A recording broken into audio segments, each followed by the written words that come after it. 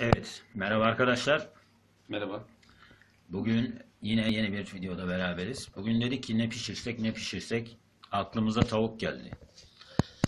Tavuk pişirelim dedik. Bu ne usulü?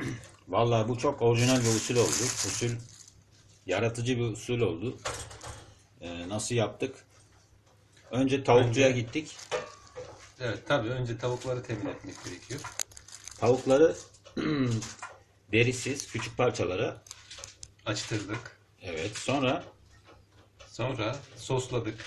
Sosun içerisinde. sosladık. Hatta önce tavukçuya soslattırdık. Bir de geldik kendimiz sosladık. Sos oğlu sos oldu. Evet. Sos üzerine sos. Sos oldu sos oldu. Sonra bir kaba kattık bu tavukları. Ee, içine Zeytinyağıyla. zeytinyağıyla şöyle Biraz daha vıtçık vıtçık vıtçık vıtçık yağladık. Sonra patatesleri ve karnabaharları ekledik. ekledik. Şimdi bu gördüğünüz şey poşeti, fırın poşeti, ee, lezzet başı. Normalde hindiler için özel üretilmiş. O yüzden çok büyük. Biz de bunu bu şekilde değerlendirelim dedik.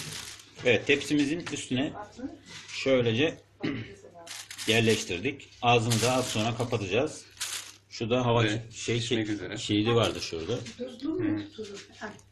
Tuz atmadık hiç. Şurada Ve en son Şöyle. şöyle. tamam at, birkaç at. tane de biber ekleyelim. Ustalar çok olunca fikirler de çok oluyor tabii ki. Biber atma fikri şimdi yeni çıktı. Evet. At at at at at at. at.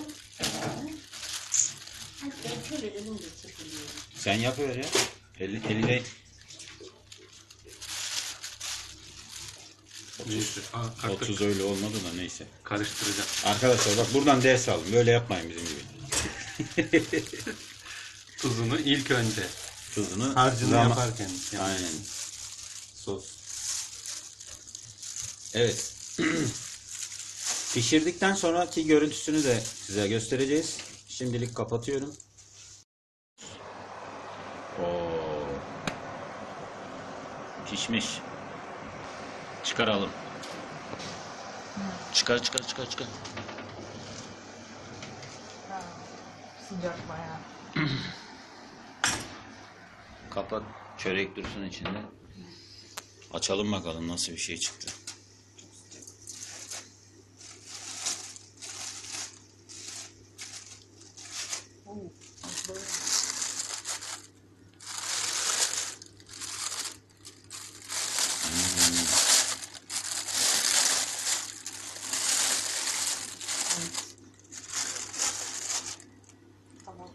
Şu görmüş olduğunuz çıkan suyu ve zeytinyağı karışımı.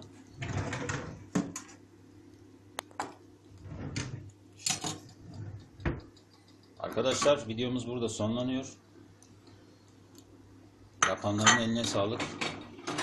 Görüşmek üzere.